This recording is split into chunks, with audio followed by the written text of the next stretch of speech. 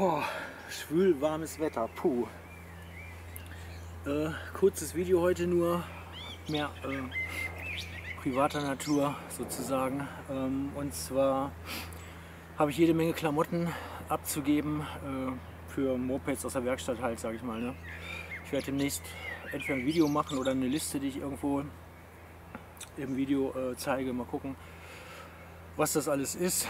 Äh, diverse Spezialwerkzeuge, ähm, Motorradheber, vorn, hinten, Ducati, Einarmschwinge, ähm, keine Ahnung, verschiedenste Sachen halt. Und ja, Gewindeschneidsätze, äh, Helicoil, Timesert, ähm, all so ein Kram halt. Was ich nicht mehr brauche, da ich wirklich nur noch mich mit Vergaser-Sachen beschäftige. Aus diversen Gründen, die ihr eigentlich erkennt. ja, das wollte ich nur sagen. Wie gesagt, Liste kommt, äh, wer dann aus der Nähe ist. Also ich habe also große Sachen äh, werde ich nicht verschicken, die dann nur Abholung. Wer Bock hat äh, oder nicht zu weit weg wohnt, der kann sich das dann holen, wenn er denn will. Äh, verschicken kleinere Sachen schon, aber irgendwie die Ständer und so, da habe ich keinen Bock zu. Mhm. Wo ich noch überlege, ist die Hebebühne, eine elektrohydraulische. Kann aber sein, dass ich die behalte, weil die auch ganz gut als mobiler äh, oder variabler Werkstatttisch gedacht ist äh, oder geeignet ist. Mal gucken, werde ich mir überlegen. Dazu äh, gehören würde noch äh, ein Schutzgasschweißgerät mit Dreh- und Lichtstrom, äh, ein Wick-Schweißgerät, ein sehr kleines, handliches, transportables, was sehr gut schweißt. Mit Komplettausstattung heißt mit einem guten Schirm, mit ähm, mit Flasche, mit Transport, äh, Sackkarre, sage ich mal. Das ist alles, ähm, wie gesagt, das zeige ich demnächst genauer in dem Video. Hm. Nur, dass ihr schon mal Bescheid wisst, falls einer von euch Werkzeuge gebrauchen kann, Ständer oder irgendwas, was mit Moped zu tun hat oder auch noch Ersatzteilhandbücher. Relativ viel Originalersatzteile fliegen noch rum. Hm. Das meiste, wie soll ich sagen, was ich noch eine ganze Menge habe, das sind Kurbelwellen Hauptlagerschalen und Pleuellagerschalen äh, Yamaha VMAX 2WE und so.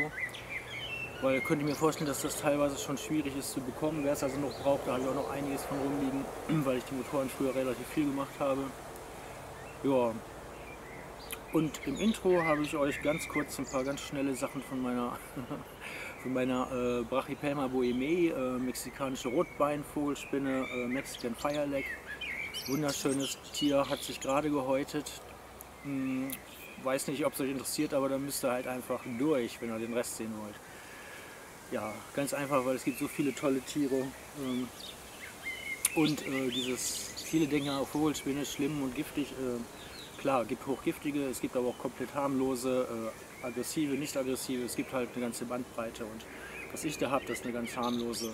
Die, äh, die macht, die jagt äh, nur Beute mit Giftbiss, aber Menschen würde sie so nie angreifen, sondern äh, nur durch dem, indem sie ihre Brennhaare abstreift mit den Hinterbeinen. Die fliegen dann so ein bisschen im Raum rum und reizen die Haut oder die Atemwege. Das ist alles nichts Dramatisches und wenn man sich ruhig verhält und die nicht ärgert, dann macht sie gar nichts.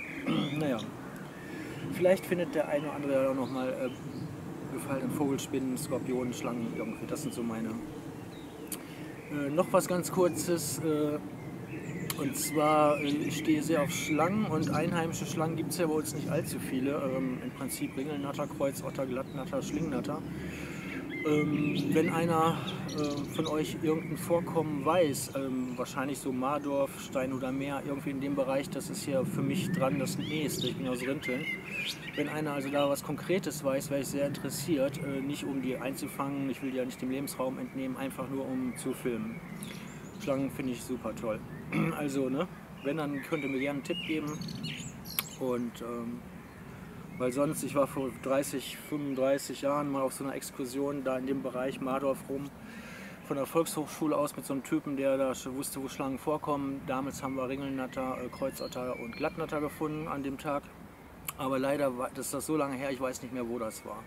Und ob das heute noch ein Gebiet wäre, wo welche zu finden sind, ähm, keine Ahnung. Also, bye bye, Dirk war's. Ciao.